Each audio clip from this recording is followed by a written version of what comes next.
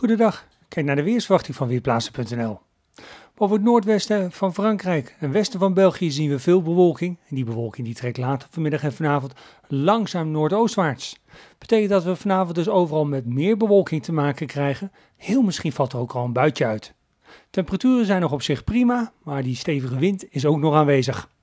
Vannacht begint de wind dan af te nemen, dan kan er vooral in het zuiden en oosten nog een enkele bui vallen. Minima rond 15 graden.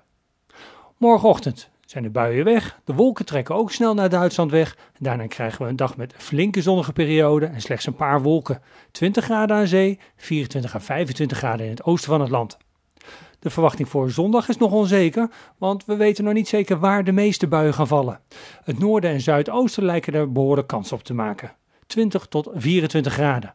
Maandag en dinsdag ook nog een paar buien en de temperaturen gaan langzaam weer omhoog. Ben Michiel Severin van Weerplaza en ik wens u een goed weekend.